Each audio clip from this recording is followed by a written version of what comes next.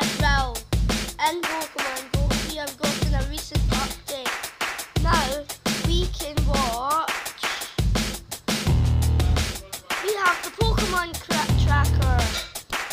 And now all you have to do is tap on the Pokemon, tap on the three steps